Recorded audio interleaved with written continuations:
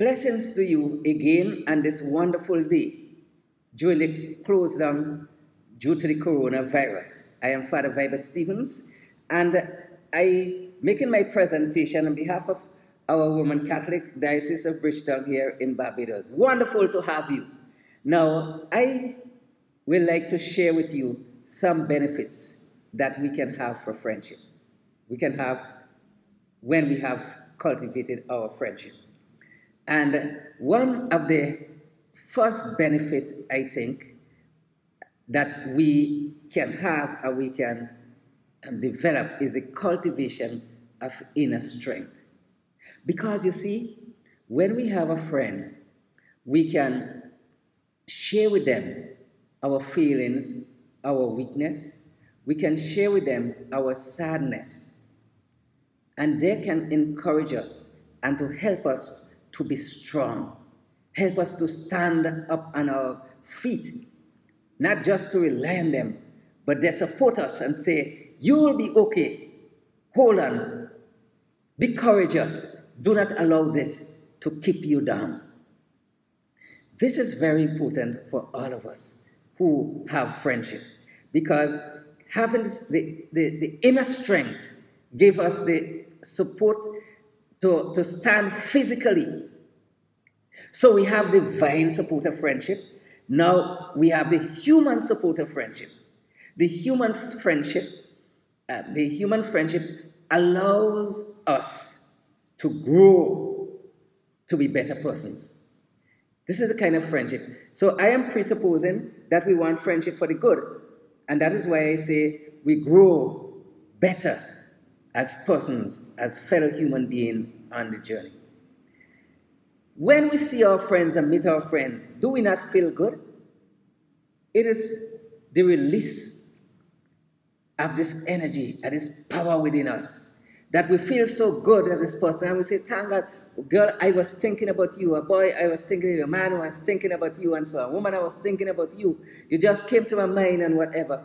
And it's so wonderful to have this to share with you and you talk and you engage in conversation, not difficult, but spontaneously enter in, into dialogue. And it does something for, for us, for both of us, or for three of us, or four of us. It releases new energy, gives the kind of zest that we need to live in such a world with so much confusion and division and hatred.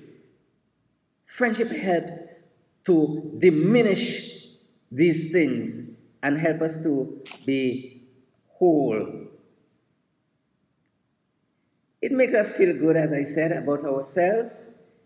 Friendship causes us to laugh when we are together. We can enjoy a good laugh. We can say, What a wonderful thing.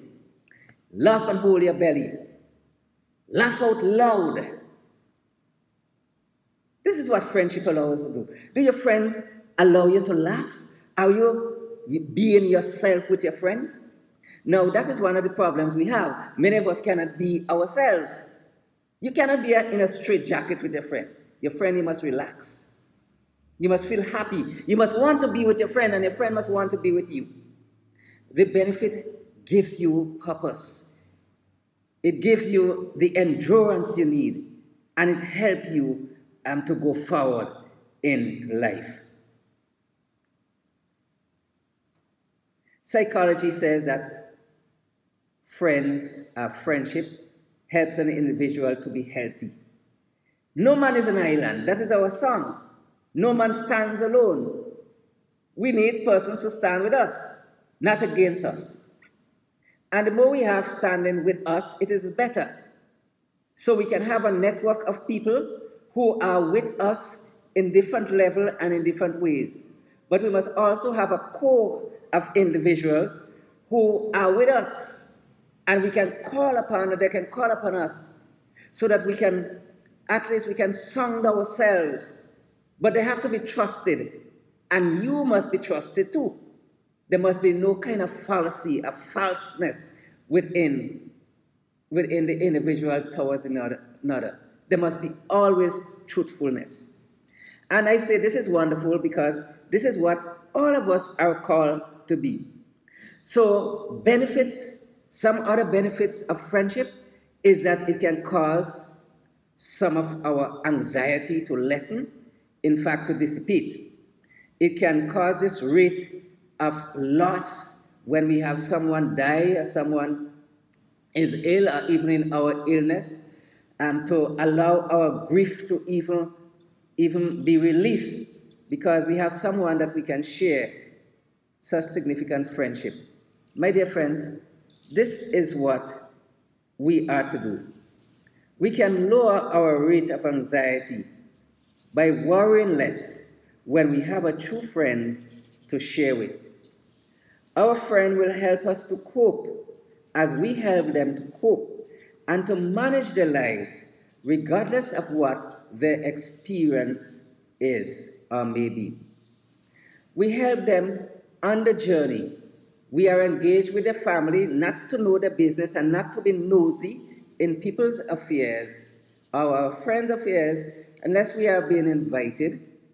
We must respect that. We must respect each other. We must give each other the distance that is needed in friendship. For this allow you to grow as an individual apart from the person, and it allows you to come together again in a real friendship of joy and understanding. Let us cultivate good friendship. I have one note to share with you, and I would like you to listen to this one as we go along. May God bless you.